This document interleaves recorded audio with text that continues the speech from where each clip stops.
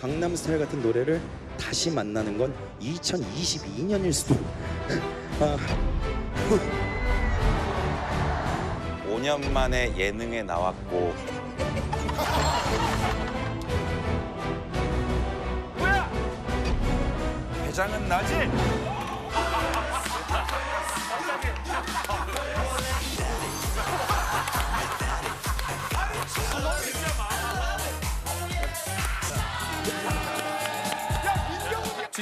같지 않다. 힌트곡이 너무 많아도 힘들다. 애도 자세히 보면 잘 추는 거 아니야.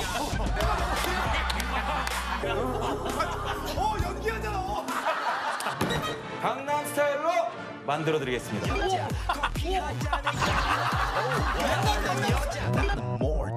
아는 놈 호동이에 관한 뭘 좀 알아? 알지.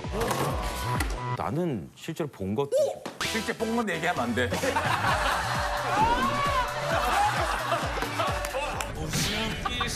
사라질 거야. 그 알기를 배우게 줄래 줄게 예 그대의 못생기지 않았어? 이목구비 내가 더 잘생겼어. 그래야지 마. 즐길 준비 되셨습니까? 참 참 참. 내게 재미없게.